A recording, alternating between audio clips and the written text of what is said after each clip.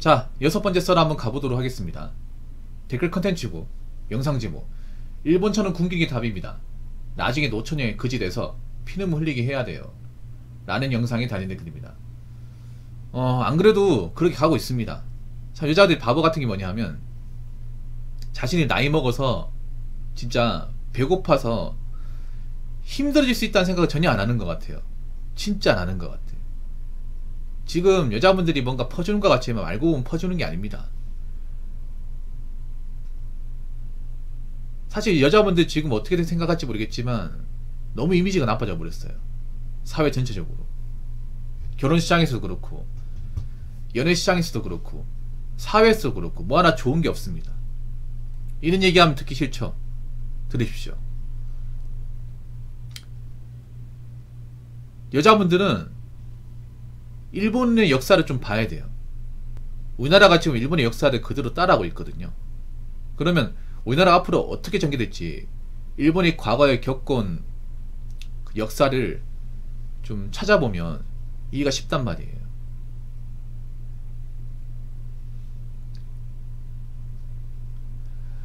그러니까 지금 여자분들 상태가 많이 안 좋거든요. 일본보다 더 안 좋아요. 일본 그 법영제 시절에 그 젊은 여자들보다 더 안 좋아. 지금 젊은 여자분들은 막히는 세대가 뭔지 알고 계실지 모르겠는데 모르는 사람도 많을 거예요. 알아야 되는데. 왜냐하면 거기에 해당 사항이 되는 사람들이 굉장히 많을 텐데요. 우리나라는 전 세계에서 가장 유대가 없는 저출산 국가고 결혼 커플도 줄고 있고 연애율도 줄고 있습니다.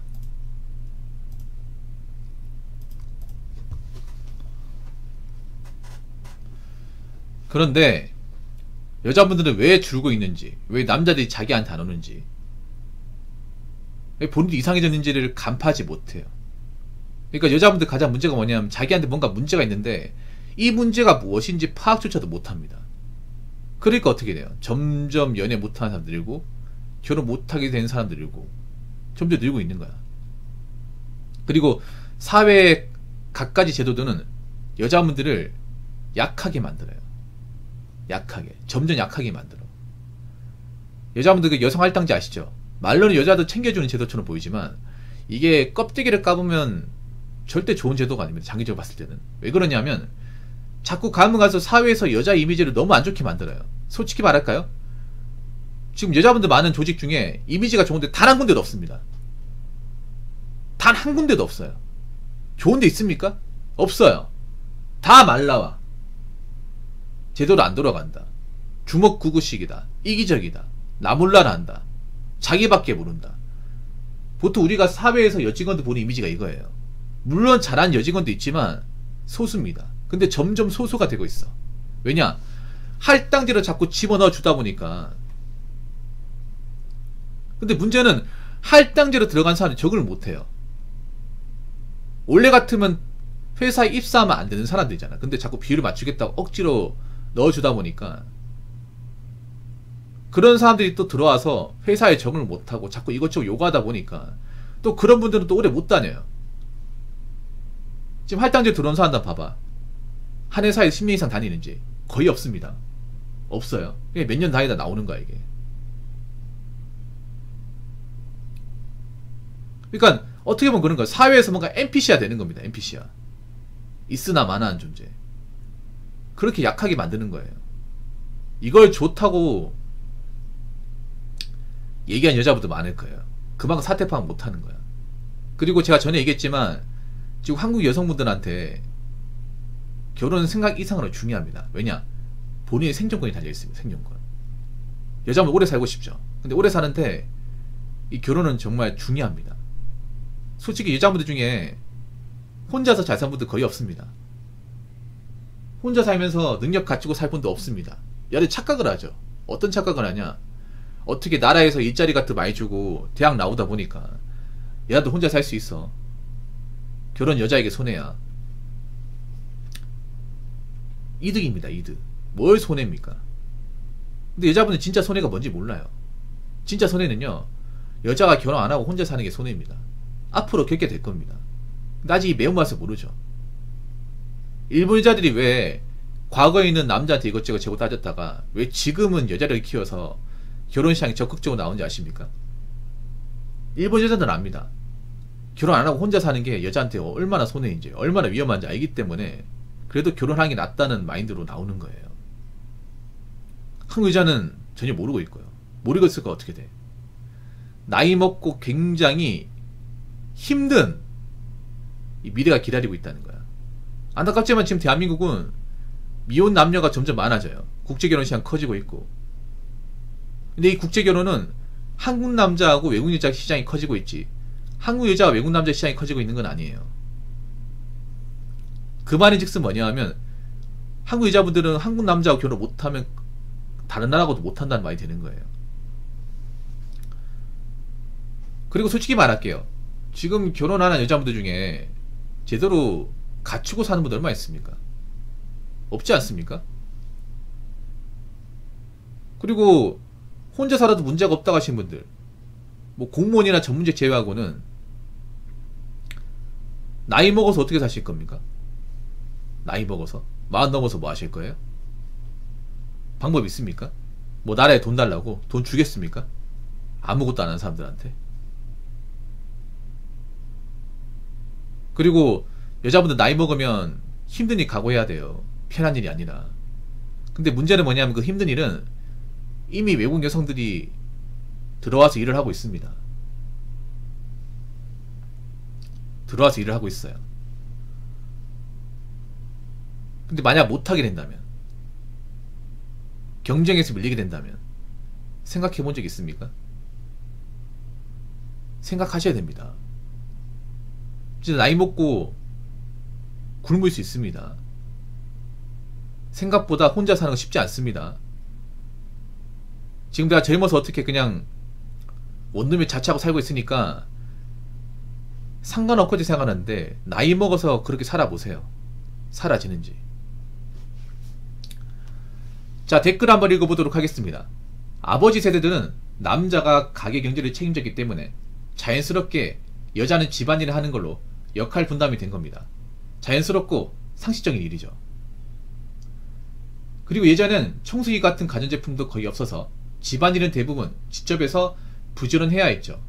근데 요즘은 집안일이 너무나도 쉬워요. 사실 좀 냉정한 얘기인데 남자한테 결혼은요 여자가 애를 낳아주는 거 아니면 사실 아무런 필요가 없습니다.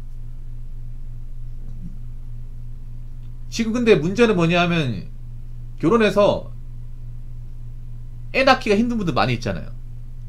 지금 우리가 알아야 될게 뭐냐 하면 우리나라는 가면 갈수록 여성의 혼인 나이가 많아지고 있습니다.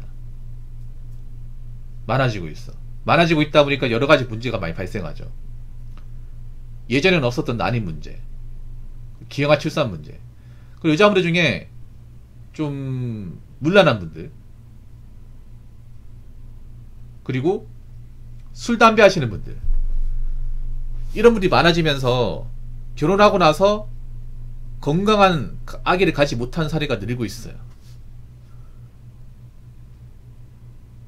임신하는 것 자체도 힘들고 건강하게 출산하는 것도 힘들어요. 그럼 남자 입장에서 굳이 이런 위험수를 안고 결혼해야 될까요? 결혼해야 될까? 여자분들 철저하게 본인 입장 생각하지 상대방 남자 입장 생각하지 않죠. 그러니까 삽질하는 겁니다. 솔직히 남자 입장에서 그래. 내 자손을 건강하게 낳아주지 못할 여자면 언제든지 끝낼 요장이 되어 있습니다. 여자분들 앞으로 아시면 좋을 게 부부 사이 자녀가 없잖아요. 그럼 같이 안 삽니다, 이제.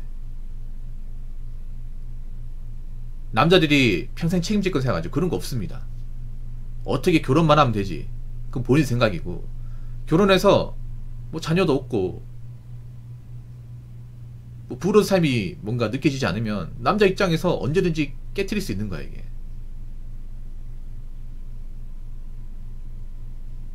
차라리 국제결혼 나올 수 있습니다. 왜냐 국제결혼하면 한국 여자보다는 그래도 덜 무난한 분들 그리고 훨씬 젊은 분들 그런 분들이기 때문에 자녀 출산하기 쉽고 자녀를 가진 것에 대해서 부담도 없어요. 그리고 기형아 출산에 대한 문제도 크게 없고. 그럼 남자 입장에서 뭐가 이득이에요? 나이 차고 제대로 몸 관리 못한 한국 여자하고 결혼하는 게 낫겠습니까? 아니면 나이 어린 외국 여자하고 결혼하는 게 낫겠습니까? 여자 입장이 아니라 결혼 정년기에 있는 남자 입장에서 생각해보세요. 남자 입장. 자꾸 본인들 생각만 하지 마시고.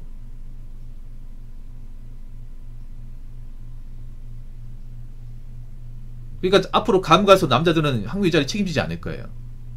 책임지는 걸 거부할 겁니다. 이건 결혼하고 나서도 마찬가지예요. 여자가 뭔가 결혼하고 나서 배우자로서 뭔가 못한 부분, 부족한 부분 많이 보이잖아. 그러면 남자들이 언제든지 결혼을 깨뜨릴 수 있습니다. 뭐 여자들 이렇게 이야기했지 책임감 없는 남자가 많다. 그럼 본인은 책임감 있었어요? 여자분들 단 한 번이라도 책임감 있었던 적이 있습니까? 왜 책임감은 남자만 가져야 되고 여자는 안 가져도 되는 겁니까? 책임감 없는 생활을 하다 보니까 그런 사고를 가지다 보니까 자꾸 뭐가 꼬이는지 왜 혼인이 낮아지는지 왜 연예인이 낮아지는지 남자들이 왜 해외에 떠나는지 왜 결혼 못한 한국 여자가 늘은지 이해를 못하는 거 아니에요 애초에 본인들이 책임감 가지고 문제점을 파악을 하고 뭔가 본인들이 모순의 행동을 바꿔 나갔으면 이런 일이 안 생기잖아요 그리고 하나 더 말씀드리면 국제 결혼 시장이 늘수록 항의자들이 삽질하는 것도 같이 알려지게 됩니다. 네.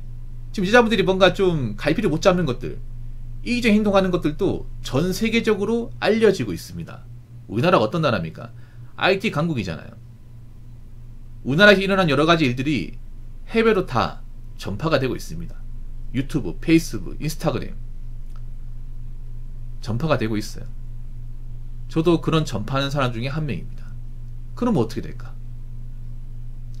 국제 결혼한 여성분들은 한국여자가 얼마나 답이 없는지 알고 들어오는 거예요. 모르고 들어오는 게 아니라. 설명 듣고 들어와. 그런 사람이 점점 많아져. 그리고 해외에서도 한국의 어떤 결혼 문화, 지금 한국이 초저 저출산 국가라는 거 다 알고 있어요. 그리고 한국 연애 안 하고 있다는 것도 알고 있어. 거기다가 한국 여자들 좀 뭔가 좀 멘탈적으로 안 좋다는 것도 알려지고 있습니다. 그 누가 손해일까요?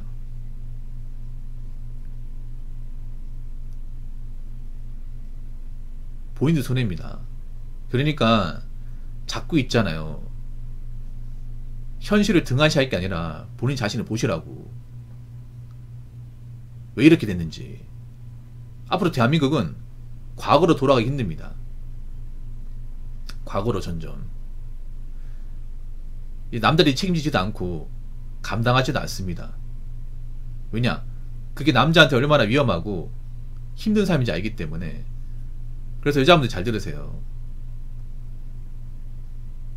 왜 남자들이 안 올까 생각하기 전에 내가 무 슨 문제가 있을까? 이것부터 먼저 생각해 보시기 바라겠습니다. 자, 이상으로 여섯 번째 썰 마치도록 하겠습니다.